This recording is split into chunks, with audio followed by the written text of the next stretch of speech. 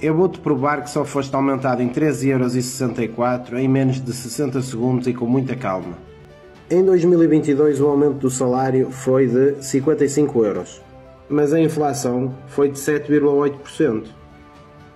Então se fizer 705 mais 7,8%, dá 54,99. Como foste aumentado em 55 euros, só foste aumentado num cêntimo na verdade.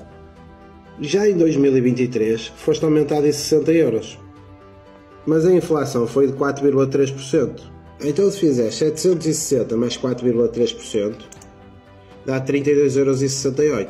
Este é o valor real que foste aumentado este ano. Mas como o ano passado só foste aumentado num cêntimo, se divides este valor por 2, dá uma média de 16,34€. Então, nos últimos dois anos, foste aumentado realmente em 16,34€ em cada um dos anos. Se queres continuar a saber as verdades que ninguém te diz, segue-me e partilha este vídeo.